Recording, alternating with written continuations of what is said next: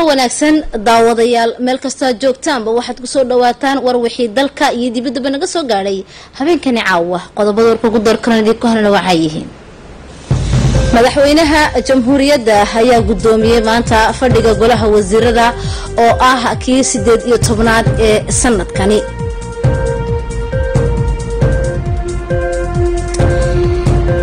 bangi laga leeyahay dalka faransiiska b n b baribas layidhaah ayaa lagu eedeeyey inuu ka lug lahaa xasuuqii ka dhacay dalka ruwanda qodobakaas qodobada iyo qodobo kale ayaa daawadayaal aad kula soconaysaan warkayaga caawa. Bismillaahi raxmaani raxiim madaxweynaha jamhuuriyadda mudane ismaaciil cumar geele ayaa maanta guddoomiyey fadhiga golaha wasiirada oo ah kii sideed iyo tobnaad ee sanadkani fadhiga golaha wasiirada. Waxaa lagu soo qaaday dhowr mashruuc oo kale ah. Mashruuc xeer oo ku saabsan wax ka bedelaada kun toddoba iyo mashruuc dhegalay oo ku lug leh siyaasada cusub ee xukuumadda u dejisay shaqaaleysiinta dhalinta waaxyaha dowladda iyo kuwa gaarka loo leeyahay. Iyo weliba mashruuc xeer oo dhismaha xarunta caafimaad ee c n s s iyo mashaariic kale kusimaha wasiirka arrimaha dibadda ahna wasiirka garsoorka mudane muumin axmed sheekh ayaa warbaahinta uga waramay qodobadaasi aan kor ku soo sheegnay khadar cabdilaahi ayaana inoo soo eegay Sous la présidence de son excellence M. Ismaël Omar Guelleh, président de la République, chef du gouvernement. fadhiga golaha wasiiradu waxa uu isku raacay mashruuc xeer oo ku saabsan heshiisyada kaabayaasha dhaqaale ee istaraatiijiyadeed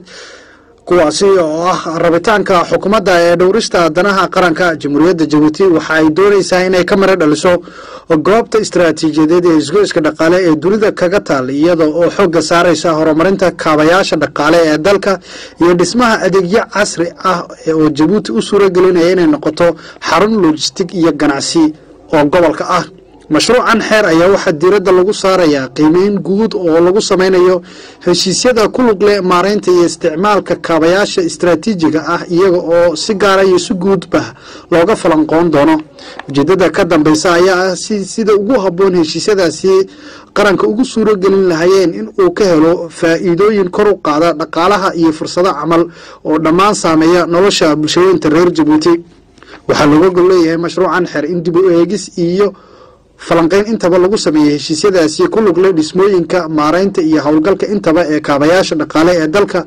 Si loo ilaaliyo danaha qaranka oo xukuumaddu ay ka go-an tahay in mari waliba ilaaliso danahaasi qaranka ah kolka la gelayo heshiiska ganacsi iyo dhaqaale. Ujeedada qodobkan golaha wasiiradu uu isku raacay saaka ayaa waxa uu yahay in dib loogu kuurgalo kadib markii la xadhay heshiisyadaasi mashaariicda dalka oo ka hooseysa wixii natiijo faa'iido leh oo looga fadhiyey marka dhinacyo fara badan laga eego fadhiga golaha wasiirada ee saaka waxa uu isku raacay mashruuc xeer oo wax ka bedelaya miisaaniyadda dowladda ee laba kun iyo toddobiyo tobanka. Miisaaniyadda dowladda ee laba kun iyo toddobiyo tobanka waxa ay dhan tahay in ka badan boqol koob iyo soddon milyaar lix boqol lix iyo afartan malyuun in ka badan waxaana ka muuqda kor u kac dhaqaale. Kolka loo eego miisaaniyadda ku talagalka dakhliga gudaha ayaa dhan in ka badan boqol iyo lix milyaar halka midka ku talagalka uu ahaa boqol milyaar toddoba boqol iyo soddon malyuun oo faranka jabuutiya miisaaniyadda wax laga bedelay ee laba kun iyo toddobiyo tobanka waxaa ka muuqda kor ukac dhaqaale iyo kobac tilmaamaya higsiga dhaqaale ee qaranka ee ku aadan dib habeynta hay'adaha oo si dhab a u adkeynaya natiijooyinka wanaagsan ee maareynta cashuuraadka fadhiga golaha wasiiradu waxa uu isku raacay mashruuc dhegeley oo ku saabsan habka xirfadsiinta dhalinyarada iyo heshiiska ku lug leh shaqaalaysiinta dhalinyarada xirfad baranaysa oo dhegelaydan farayso in mishaar la guddoonsiinayo dhalinyaradaasi ku jirta tababarka xirfadaha iyo shaqooyinka dhegelaydan oo wax ka bedelaysa qodobka shan iyo toddobaatan xeerka namber boqol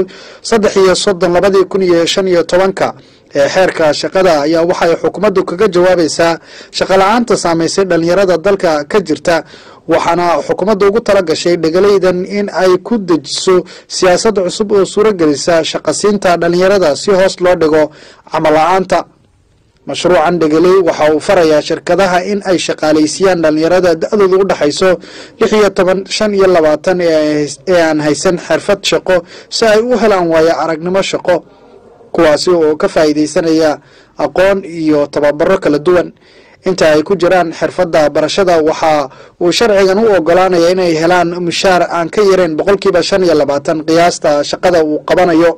Waxayna suuro gelinaysaa in dhalinyarada ku jira ama qeybta ka noqonaysa tababarka xirfadeed ee shaqo ee bilowga ah ee shirkadaha dowladda iyo kuwa gaarka loo leeyahay intaba in ay dhalinyaradaasi ay helaan fursado tababar iyo aqoon iyo weliba mushaar intaba uu ku maarayn karo qofka dhalinyarada ah noloshiisa fadhiga golaha wasiiradu waxa uu isku raacay mashruuc dhegelay oo ku saabsan dhismaha iyo qabanqaabada.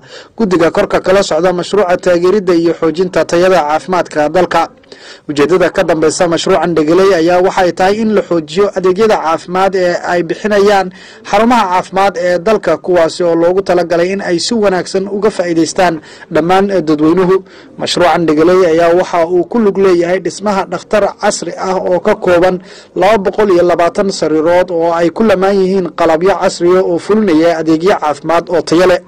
Waxaana intaasi raacsan tababaridda shaqaale caafimaad oo iskugu jira takhasus iyo kuwo kale mashruucan waxaa loogu talagalay in si dhab a u kaalingeliyo howlgalka caymiska guud ee caafimaadka ee xukuumadda ugu tala gashay kor u qaadidda iyo ka jawaabidda baahiyaha caafimaad ee bulshada daawadayaal fadhiga golaha wasiirada waxaa saaka sidoo kale la horkeenay miisaaniyadda wax laga bedelay ee dowladdu ku howlgalayso laba kun iyo toddobiyo toban. Haddaba mashruucaasi waxaa inooga faalloonaya wax kabedelada waa weriye maxamed cabdiraxmaan maxamed ogbal mashruucaasi maxaa uu yahay? Maxaana keenay bedeladaasi mahadsanid faadmo fadhiga golaha wasiirada saaka waxa uu isku raacay wax ka bedelaada miisaaniyada dowladda ee labada kun iyo toddobiyo tobanka. Waxaana laga dhigay in ka badan boqol koob iyo soddon milyaar oo faranka jabuuti ah. Waxaana ku biiray faadmo toban milyaar oo faranka jabuuti ah haddaba korukacaasi muxuu muujinayaa ama maxaa uu tilmaamayaa ama maxaa laga dhexdhehan karaa? Runtii waxaa laga dhexdhehan karaa in kobaca dhaqaale uu halkaasi jiro islamar ahaantana dhaqaalaha uu kor u kacay. Waxaa sidoo kale taasi oran karnaa keentayba waa horumarka dalku ku tallaabsaday taasoo ay miro dhaliyeenba kaabayaasha dhaqaale ee dalkeena. Miisaaniyadan waxaa laga bedelay waxaa ka muuqda korukaca dhaqaale ku soo sheegay iyo kobac tilmaamaya higsiga dhaqaale ee qaranka ee ku aadan dib habeynta hay'adaha waxaa haddaba faahfaahin dheeriya waxaa naga siin doonaa miisaaniyadaasi wax laga bedelay mid ka mid ah mas'uuliyiinta wasaaradda miisaaniyadda mudane xasan maxamed negey oo khadka telefoonka si toos ah inagu jira. Mudan xasan habeen wanaagsan maad maqlaysaa waa ku maqlaya habeen wanaagsan. Aad baad umahadsan tahay sidaad no aad baad umahadsan tahay sida wacan ee aad uga soo jawaabtay martiqaadkii aanu ku fidin. Haddaba su'aasheeda koowaad ayaa waxay tahay maxaa wax nooga sheegi kartaa aniga anaka iyo dadweynaha daawanaya sida loo diyaarsho miisaaniyadda dalka? Assalaamu calaykum horta. Habeen wanaagsan waxaan igu mahadnaqayaa siaad aan noogu macluumteen on direct warka soomaaliga jabuuti هدان كهل الميزانية دا ودنكا أنا كثيرا دوردو وحي تلقلتا صدح لواء مصدح حير ووالدقا يا ميزانية دا ودنكا جبوتي كأقوه رأيها مجيش سوحة الإرادة لواء تسيناس إنسيال بالإرادة وحو كوالدقا يا ميزانية دا دوردو سنة فسلاسة loi finance rectificative and the budget rectificative waa kii maanta hirgalay conseil de ministerka oo kaasoo saxaya kii ka horeeyey ee ah loi finance initialki ka saddexaad aan orano loi de reglement wuxuu soo xiraa dakligii dawladda jabuuti ee sanadii na soo dhaaftay. Hadday noqoto halka deponska amba halka dakliga saddexdaa budje ayaa sanad kastiba hirgala waddanka jabuuti waa kaa bal waxaad inoo sheegtaa amba waxaad inooga iftiimisaa qodobkii saaka fadhiga golaha wasiirada ee la hor keenay ee wax lagaga bedelay miisaaniyadda dalka? Qodobka maanta hirgalay wuxuu ahaa luwaad finance rectificative sanadan aan ku jirnay benidisad kaasoo sidaan oranay saxaya kii ka horeeyey ee daabaaldigayay bijeega sanada soo socotaa aan waxayna sanadii hore oo ahaa luwaad finance initial. Kano haddaan ka hadlo halka dakhliga kordhay toban milyaar sideed sideed iyo labaatan malyan oo faranka jabuuti taasoo ka timiday dakhliga naga soo galaya. Boor doqaale doqaale terminal contener shan milyaar shan malyan iyo guriyaansha dowladda ilaa saddex boqol iyo laba milyan oo faranka jabuuti iyo gargaarka guryaha nooga imanaya wadanada asxaabtan ahaan amba organismi hadday tahay oo ah lix boqol iyo afar iyo labaatan milyan oo faranka jabuuti hamba amaahda dowladdu ay ka amaato wadanada asxaabta hamba halka organismiyaasha oo ah afar milyaar saddex boqol iyo shan iyo sagaashan milyan oo faranka jabuuti haddaan ka hadlo halka deponska marka sida waxaad ogaatiin inay dakhliga iyo deponstuga ay equiliber ay yihiin amba barbadhac ay yihiin isagoo oo kordhaysna toban milyaar sideed boqol iyo kow iyo labaatan milyaar milyan yaan jeedaa taasoo u kala baxaysa hadday noqoto saaleerka waddanka iyo halka investissmentka dowladda jabuuti waxaan kaloo ku darayaa marka sida inay saddexdaa lugaa ay ka jawaabaan welibtiga madaxweyneheena mudane ismaaciil margeli oo ah inaad quwadda la dul saaro amba eskoorka la dul saaro sakterada sosiaalka hadday noqoto halka educationka hadday noqoto sinseyga iyo xagga securityga waddanka waa ka aad baad madsanta mudane xasan maxamed negiye su'aasheeda u dambeysa waxay tahay waxaa jirta maanta in miisaaniyadda dalku ku shaqeynayo labada kun iyo toddoba iyo tobanka wax laga bedelay. Haddaba arrintaasi maxaa keenay? Hase haatee goorma ayaa la bedelaa miisaaniyadda miisaaniyaddan maanta luwaada maanta hirgalay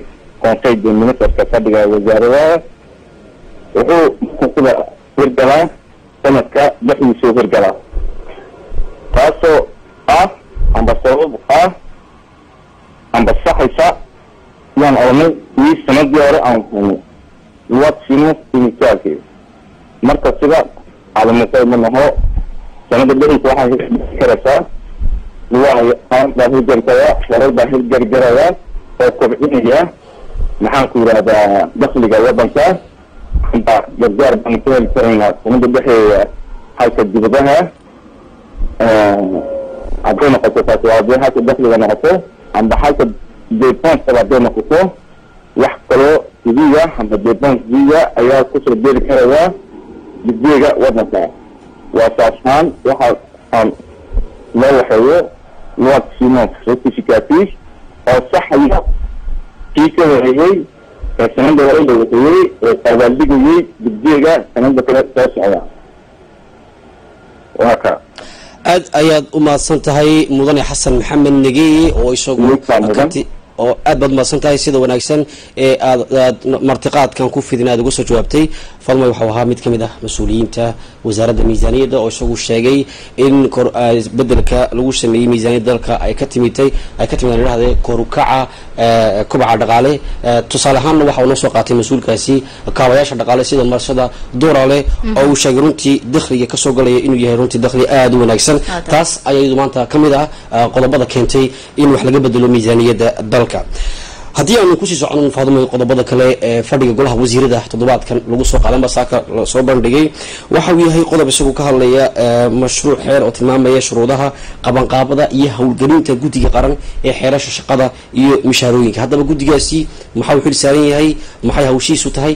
Waa mid isagu u xil saaran la socodka qawaaniinta iyo xeerarka u yaalla shaqada iyo mishaarooyinka waa guddi isagu eh, faadumay eh, qaabilsanaan doona in uu diyaaso horumarka mushaarooyinka kala duwan ee kala sarsareeya waxaan ognahay faadumoy in mushaarooyinku jaranjarooyin ay soo maraan hadba qof waxkaa uu taagan yahay. Haddaba guddigani waxa uu si guud isha u saari doonaa mushaarooyinka xeerasha shaqada u yaalla shaqaalaha tayada shaqada. Wax walba oo iyadu ku saabsan faadumoy shaqada ayaa waxa uu guddigani xooga isagu saari doonaa sida looga bartay fadhiga golaha wasiirada faadumoy saaka waxaa la soo magacaabay mas'uuliyiin cusub.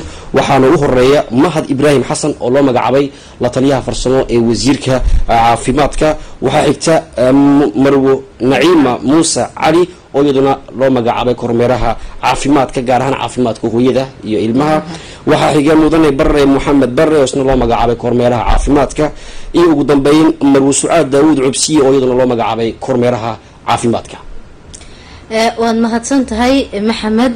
Daawadayaal waxaan idin xusuusinaynaa in habeen dambe khadka telefoonka aanu ku wareysan doono mid ka mid ah mas'uuliyiinta wasaaradda dhaqaalaha iyo maaliyadda oo aanu wax ka weydiin doono sida uu uu nooga nafaalon doono heshiisyada dowladdu ay gashay. Waxaa sidoo kale anu mahad celinaynaa mas'uulka caawa khadka telefoonka si toos ah inoogu jira. Haddii aanu ku sii socono wararka dalka uun xukuumadda jamhuuriyadda jabuuti ayaa soo daadgureysay qeyb ka mid ah muwaadiniinta reer jabuuti ee ku sugnaa deegaanada rabshaduhu ka dhaceen ee dalka etoobiya kana tirsan bariga etoobiya sagaal qof oo uu ka mid yahay ilmo yar ayaa ka soo degay garoonka dayuuradaha waxaana ku soo dhaweeyey xubno ka mid ah xukuumadda oo kale ah wasiirka garsoorka qaabilsana arrimaha jeerasha mudane axmed sheekh mudane muumin axmed sheekh wasiirka arrimaha gudaha iyo mudane xasan cumar maxamed iyo sidoo kale xogeeya dowladeedka arrimaha bulshada. Sagaalkani qof ayaa ka mid ahaa dadka u xagaabaxay magaalooyinka harar iyo haramaayo oo muddooyinka u dambeeyey ay hareeyeen colaado u dhexeeya qoomiyadaha soomaalida iyo oromada caasho ciise oo aanu waraysi la yeelana iyo sidoo kale siciid xasan geelle ayaa inooga waramay xaaladaha soo wajeeya waxaana yidhahdeen intaa ila joogtay wasiir iyo maxay ahayde minister iyo nuuc walbale ayaanu mahad celinayaa.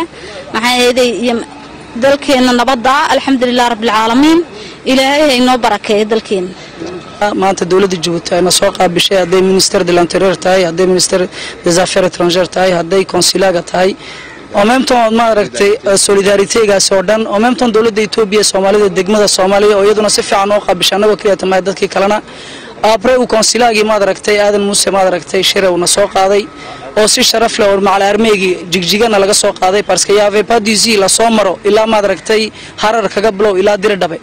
Dariiqaas oo dhan armeena loo soo qaaday konsilaagu ay sacdibeen macal adjuwaangiisa maad aragtay muuse xaashi oo si fiican maad aragtay noo soo qaabileen macal dadkoogii macal maad aragtay staafkoogii alxamdulilah si fiicanna noo qaabileen hotel noo kareeyeen diyaaradiina soo kareeyeen maantana alxamdulilah waddankayga aan joognaa batrigayga aan joognaa oon maad aragtay stress wax kastaba ay nagaga dhammaatay. Alxamdulilah maanta waa kaasoo ministère de l'interieur iyo dadkii oo dhan iyo staafyadoodii oo dhanna maanta ayna soo qaabileen on remercie tout le monde même le peuple jiboutien même le président de la république même la première dame même maad aragtay ummadda muslimka oo dhan wasiirka arrimaha islaamka dhaqanka iyo awqaafta mudane muumin xasan bare oo uu weheliyaan wafti ka socda wasaaradiisa ayaa soo booqday madxafka weyn ee qaahira oo ah goob weyn oo lagu hayo ama lagu keydiyo taariikhda dalka dalka masar gaar ahaan taariikhda faraacinta madxafkaasi waxa uu ku yaalaa blas taxriir bartamaha qaahira waxaana yaalla guud ahaan lixdan kun oo agab taariikhi ah. Wasiirka ayaa inta uu ku sugnaa dalkaasi masar waxa uu la kulmay dhigiisa oo ay ka wada xaajoodeen sii xoojinta iskaashiga labada dhinac. Wasaaradda waxbarashada qaran iyo tobabarka xirfadaha oo la kaashatay wasaaradda shaqada iyo dib u habeynta maamulka ayaa qabanqaabinaysa tartan lagu soo xulayo barayaal ama brofesero iyo brofesero ku-xigeen tartankaasi ayaa la marayaa maalinta sabtida ee soddonka bisha sebtembar oo ka dhacaya liseega jabuuti ama xarunta.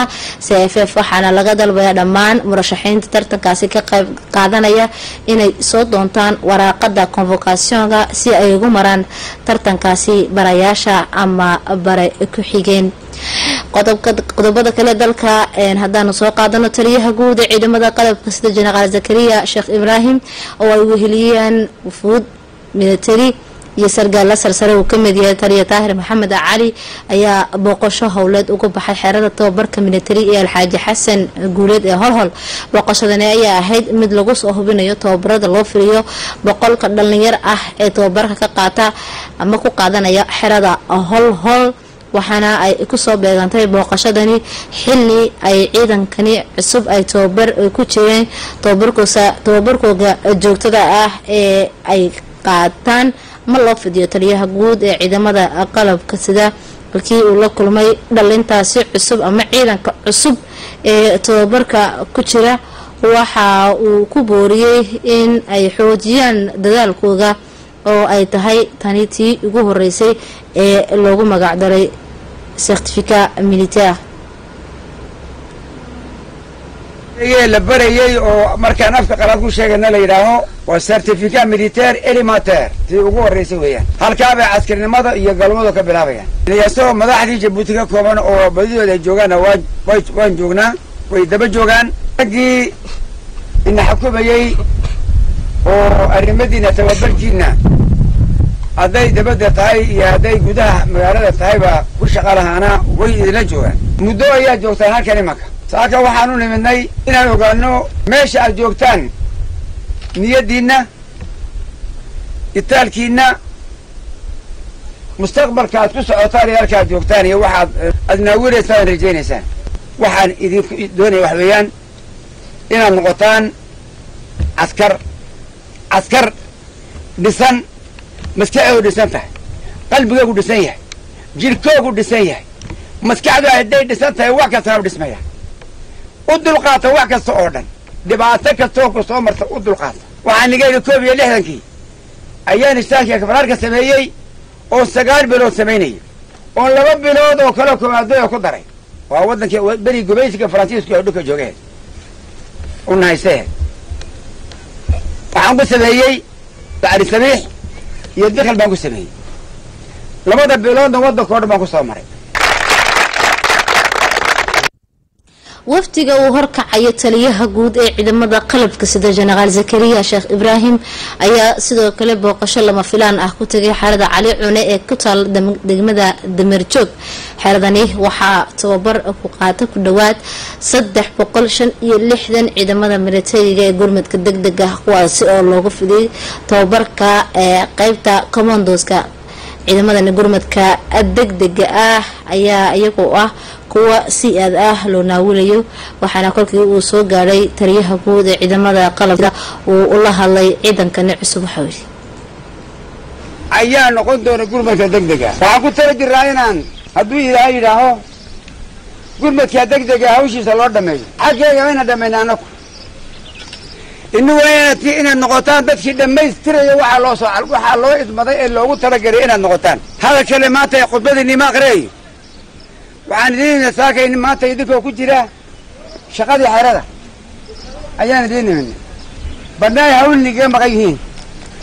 Sidaa darteed waxaa keliya idin weydiinayaa salaanta aan nimidnay een isku soo hawlay oo aan damacnay inaanu wax hubsanno. Halka ay joogto xaaladii batayoonku annagoo dhan fikrad wax baa nagu jiro wax weyn masax nagaga jira wax weyn baa nagaga jira. Waxaad tihiin dad aan dawladda u sheegnay oon dadka u sheegnay oo shacbiga loo sheegay oo cadowgaan u sheegnay oo dadka waddanigaa loo sheegay inaan batayoonkii ugu horreeyay gurma deg dega inuu sameeyo oo lagu nasto meelaha qaarkood hadday wax ka dhacaan inaan abuurnay oon agroollo baan sheegnay inaad kaa noqotaan baan idiga rabnaa kow kelmadu maan odhani waxaad yeeshaan dhaayihiinna iyo dhegihiinna iyo qalbigiinna kelmadda imanka indhigaa ku rida. Dadkii midnimadaa helay ee kitinadaa helay ee harwaxdadaa helay ayaa dhulkoogii loo baxsanaya. Adagtahay kelmaddu midnimada amba kitinada waan wada jecelnahay. Laakiin siday qalbigeenna u fadhiisato. Oo jidhkeenna uga soo baxdo iyo soodkeenna iyo lugaheenna iyo gacmaheenna iyo indhaheenna iyo qalbigeenna uga soo uga baxaan.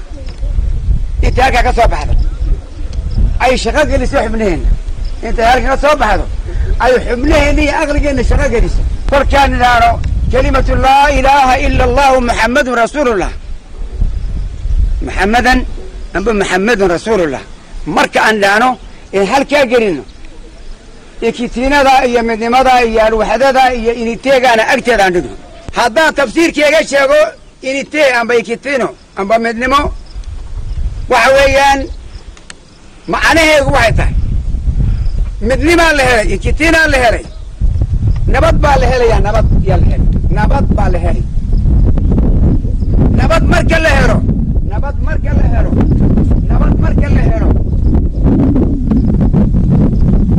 Heli marka la helo waxaa la heli degenaansho iyo iyo baaba iyo ku dambaynaysaa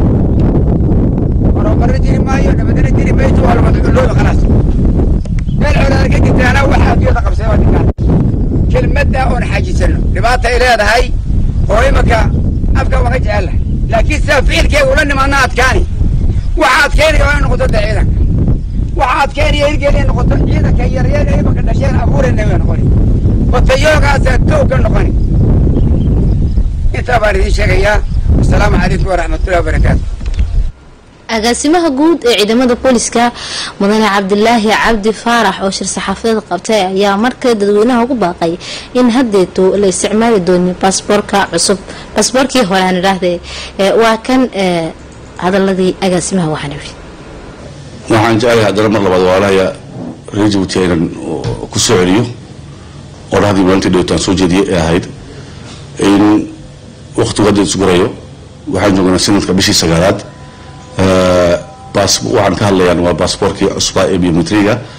Waxaan leeyahay waalahaya reer jabuutiya dhammaantood. Haddii tole waxaa hadhan waa saddex bilood sannadkii. Dadka waxaan ka codsanayaa in dhammaantood saddexda bilood ay yimaadiin ay bedeshaan baasboorkooda si ayna nagu asburin mataqaantaa markuu waktigu soo dhawaado bisha labayo tobanaad dadka yaacaya inay yimaadiin oo mataqaantaa nin kastaba rabo in loo bedelo si howlaha loo horgelin karo bedelaadana ay u fudaato waxaa haboon in mataqaantaa waktigaan haysano laga faa'iido si uu nin kasta u bedesho baasboorkiisii inta aan waktigii gaarin in la odhan saacadda way dhacday inuu yimaado uu bedesho si baasboorka cusub u qaato. Waana mahadsantiin xarunta qaran ee haweenka jabuuti inod waxaase ka qabsamay kulan ay iskugu yimaadeen waaxyaha kala duwan.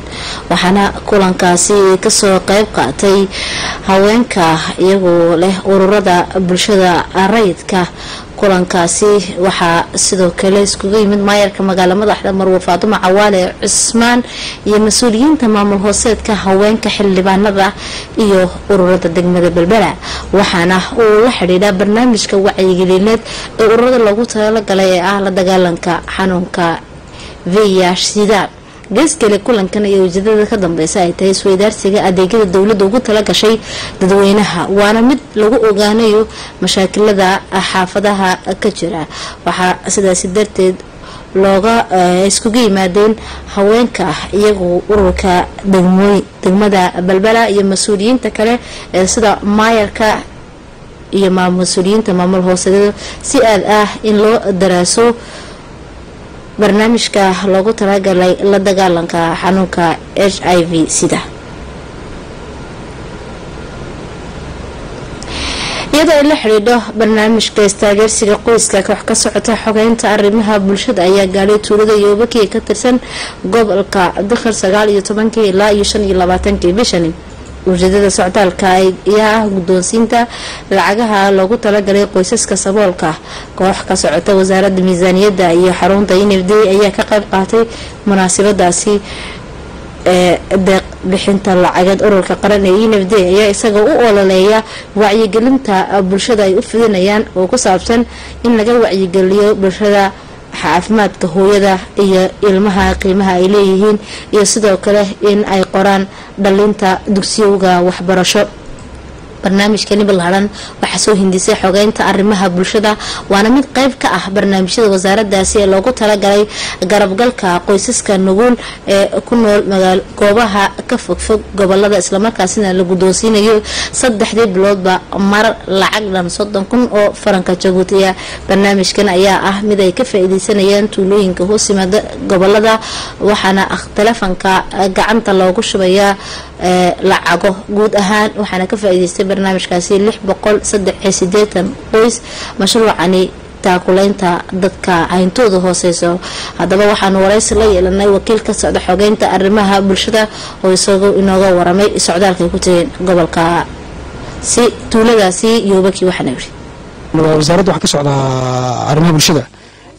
Waxaan xaggan u joognaana waa programka waxaan ka shaqeynaa program national de solidarité famille waxaa xaggan lala socdaa ministère du budget iyo unfd oo maaragtay lacagan bixinayno iyo lacagtaasoo lagu talagalay dadka faamiliyada qoysaska tabaalaysan iyo oo la siinayno unfdadu ay siinayso wacyigelin xagga caafimaadka iyo tacliinta caruurtooda waxaan maaragtay tobaneeyo su lokaliteeyo oo gobolka waxaa ku yobuki yaan yaan maaragtay soo wada marnay. Maanta gabagabadii weeyaan haddii hadduu la idhaahdo maantaana soo gabagabayn doona insha allahu tacaala. Dadka uu saameynayo programkana superfectur yobuki waxa weeyaan haddii aan isku wada koobo lix boqol iyo saddex iyo siddeetan qoys. Weeyaan waxaan maaragtay programka saameynaya degmadan. Degmadan dakhil gaar ahaan superfecturka yobuki marka xaggan waxaan doonaya inaan u mahad celiyo prefecturkii iyo conseil regionaalkii aad noola shaqeeyey na soo dhoweeyey shaqadana qeyb libax ka qaatay tacsi allaha u naxariistay waxayna soo gaadhay geerida ku timid marxuum maxamed xasan dileyta oo ku geeriyooday shalay galinkii dambe dhakhtarka weyn ee beltiye marxuumka ayaa ahaa wiil dhalinyar ah waxaana uu dhashay sannadkii kii isagoo waxaana uu ka howlgelayay marsada jabuuti. Marxuum maxamed xasan dileyta waxauu ahaa wiilkii uu dhalay xasan dileyta waa kormeeraha cashuuraadka waxaana marxuumku ifka kaga tegay haweeney iyo afar carruur ah allaha u naxariistay marxuumka ayaa ka ahaa gudoomiye ururka jira gobolka tajoora waxaana uu ku dhintay shil baabuur oo la soo dirsay habeennimadii jimcihii. Shilkaasi kadib waxa uu galay saddex maalmood oo koomaa uu ku jiray. Intaasi kadibna uu ku geeriyooday.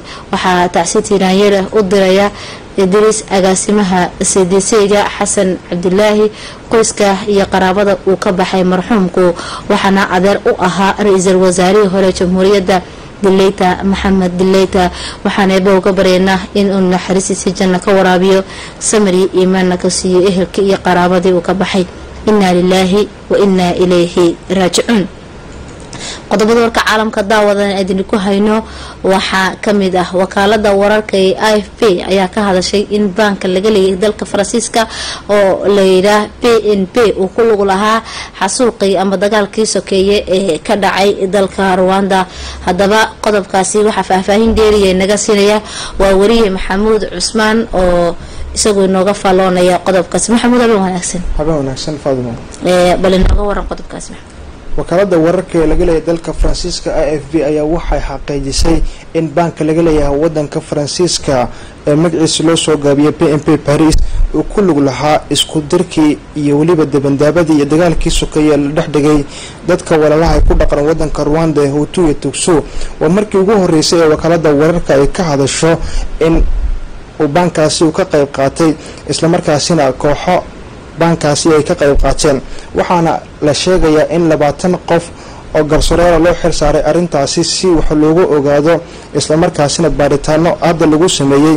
Saraakiisha baankaasi ka shaqaynaysay wakhtigii uu dhacay dagaalkii sokeeye ee dalka ruwanda ay isku laayeen dadka walaalaha ee hutu iyo tuugso golaha ammaanka ee qaramada midoobay ayaa sida la sheegayo kulan deg deg ah iskugu yeedhay wadamo qaar ah si ay haddaba uga wada xaajoodaan.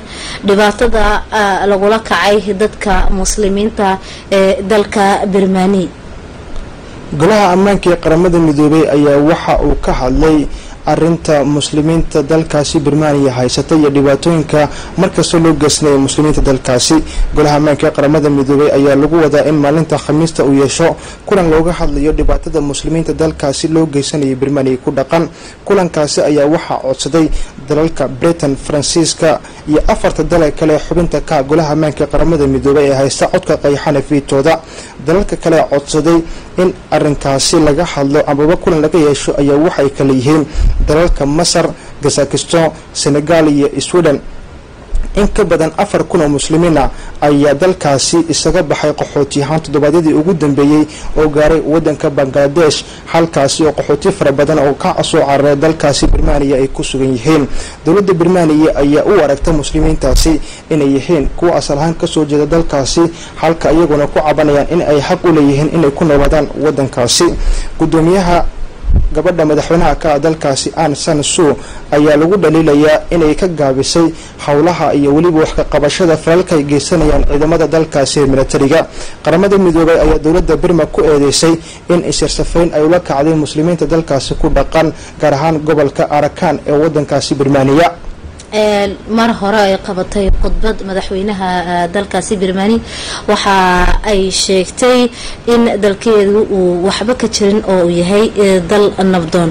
Bal khudbadaasi ayaa ah mid iyadu ka soo ka horjeeda xaqiiqdii waxaa dalkaasi ka dhacay. Waayo sida la sheegaya maxamuudow ama sidaan ognahayba dad badan oo muslimiin ah ayaa halkaasi tacadiyo lagula kacay oo la isirgooyay. Bal qodobkaasi un maxamuud cid kasta oo dunida ku nool oo iska arkaysa xasuuqa baahsanee loo geysanaya muslimiintaasi iyadoo dalkaasi qaxooti ahaan ay uga baxeen afar kun oo qof ayaa haddana waxaa la dilay in ka badan laba kun oo qof iyadoo dad weliba nolosha lagu aasay sidoo kaleete. Beesha caalamka ayaa mar hore ka hadashay oo war qoraala ka soo saartay iyadoo oo aan tallaabo kale aan qaadin. Haddase waxaa la filayaa inay tallaabo ka qaado marka ay dalalkaasi isugu yimaadaan. Shirkii golaha ammaanka ee qaramada midoobay ee ka dhacay magaalada new york ayaa madaxweynaha dalka tukriga rasab dayib urdugan waxa uu ka hadlay arinta muslimiinta dalkaasi haysata isagoo weliba dhaleeceeyey waddamada caalamka ee ugu quwada weyn. Waxaana uu sheegay in dadkaasi haddii ay ahaan lahaayeen dad aan haysan diinta islaamka aanbaba haysta diimo kale si aada looga hadli lahaa saxaafadana ay qabsan lahaayeen. Waxauu yidhi maan arag dal ka hadla ambaba saxaafad kale oo ka hadasha. Waxaan ahayn midda dalkiisa turkiga iyo weliba. Waxauu yidhi hay'adaha gargaarka bixiya u n r c r iyo hay'adaha kale dalkaasi laga leeyahay in aysan ka qayb qaadanaynin gargaarka loo fidinaya muslimiintaasi oo ay ka qayb qaadanayso keliya hay'adda tika ee laga leeyahay dalka tukriga qodobka u dambeeyana ku soo qaadayna waxauu yahay ra'iisul wasaaraha dalka jarmalka angela merkel ayaa iyadu ku guuleystay saan wad ogsoonahay markii afraad doorashada ka dhacday dalkaasi. Balse waxa ay ugu yeedhay in ay wadahadal la yeelato xisbiyada kala duwan ee iyagu kula tartamayay doorashadaasi. Maxamuudow qodobkaasi maxaad faahfaahin dheeri nooga haysaa hogaamiyaha wadanka jarmalka angela merkel ayaa mar kale ku guuleysatay doorashadii guud ee ka dhacday wadanka jarmalka taasi oo mar afraad loogu doortay hogaanka dalkaasi waxaana ay noqotay doorasho si aada indhaha loogu hayay. Guusha xisbiga ay hogaamisay merkel ayaa waxa uu ku guuleystay saddex iyo soddon boqolkiiba codadkii guud ee laga dhiibtay doorashadaasi. Waa xisbiga c d e. Natiijadaasi ayaa ka hooseysa ayaa layidhi xisbiga waa natiijadii ugu hooseysay ee uu helo tan iyo kun sagaal boqol sagaal iyo afartankii natiijada xisbiga uu helay ayaa toban dhibcood ka hooseysa doorashadii kol hore dalkaasi ka dhacday. Afar sano ka hor merkel ayaa waxa ay sheegtay inay wadahadallo ay la geli doonto labada xisbi ee kale ku soo xiga. Ee kale ah xisbiga f d p iyo xisbiga nacab xisbiga s d p ee dalkaasi ayaa waxa ay sheegtay inay wadahadallo ay la geli doonto si loo xaliyo dhibaatada waxaana ay sheegtay in dalka jarmalka uu yahay dowlad weyn oo ku dhisan xasilooni. Inkastoo xisbiga c d p oo horey ugu jiray xukuumadda ayaa waxa uu sheegay hadda inuu ka baxay balse merkel ayaa waxay ku andacoonaysaa inay wadahadal la furi doonto xisbigaasi. Guuldarada doorashada kadib martin sholz hogaamiyaha xisbiga bulshada iyo dimuqraadiga ayaa waxa uu sheegay in ay muddo la soo shaqaynayeen xisbiga muxaafadka ay merkel hogaamiso balse hadda ay lumiyeen boqolkiiba afartan kuraastii ay ku lahayeen golaha baarlamanka. Taas awgeedna waxa uu codsaday amba uu sheegay inay ku biiri doonaan mucaaradka. Merkel ayaa wax taageera aan ka haysan xisbiga bulshada iyo dimuqraadiga iyo sidoo kale xisbiga cunsuriyiinta ee nacab dadka soo galootiga ee wadanka jarmalka oo isagoo awood ka helay boqolkiiba koob iyo toban kuraasta golaha baarlamanka ee dalkaasi. Taas ayaa loo aaneynayaa xisbigaasi cunsuriyiinta ee nacab dadka soo galootiga ayaa awood heli jiray balse qarxadii ugu dambeeyay ka dhacay wadanka jarmalka ayaa awood siisay inuu awood ku helo golaha baarlamanka balse merkel ayaa waxa ay raadinaysaa inay gacan ka hesho xisbiga sem oo boqolkiiba sagaal helay codadkii guud ee laga dhibtay dalkaasi jarmalka faadimoy mahadsanid maxamuud daawadayaal warkeyga waxaanu ku soo afmeeraynaa sheeko gaaban. Nin isaga isku haystay inuu yahay ninka ugu bakhaylsan adduunka ayaa maqlay in laga bakhaylsan yahay. Islamarkiiba waxa uu jeclaystay inuu la kulmo ninka ka bakhaylsan ninka ka bakhaylsan isaga. Balse markii uu arkay ninkaasi waxa uu arkay ninkii oo il xidhan waxa isweydiiyey oo waxa uu weydiiyey war maxaa isha kuu xidhay? Kii kale ayaa ugu jawaabay isha waxaa ii xidhay. Waxa aan jeclaystay in aan aragtida aan kala yaraysto oo hadba mar aan markay ishu ay gaabiso ta kale aan xidho. Ninkaasi ayaa isagu ogaaday in laga bakhayrsan yahay. Sheeko kale nin kale ayaa ismoodayay inuu yahay ninka ugu xun caalamka ama ugu arxan daran. Balse wuxuu ogaaday inuu jiro isaguna nin ka daran. Waxa uu la kacay ninkaasi inuu dilo oday weyn markii laga qabtay. Waxa u tagay ninkii lagu tilmaamay inuu ka xun yahay ninkaasi ama ka arxan daran yahay. Waxa uu yiri war anigaaba kaa xune oo kaa arxan daran. Kii kale ayaa ugu jawaabay ninka odaga aada dishay maad garanaysaa. Maya ayuu yiri balse odagaasi waxa uu yahay aabbahay waanan kugu daawanay. Daawadayaal intaasi waxaa ku idil warwixii dalka iyo dibadaba naga soo gel intaa ku kulmi doono war kaloo kale waxaan ku dhaafaynaa nabadgelyo iyo amaano allah.